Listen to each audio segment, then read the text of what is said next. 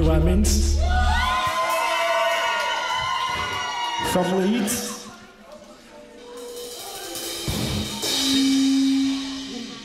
Since our last gig, we've been quite busy actually. We've uh, wrote some new songs.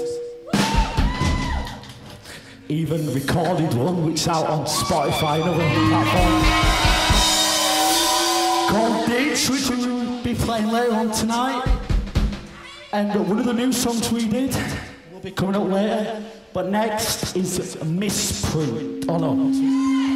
Next is Clem's Song. Clem's Song.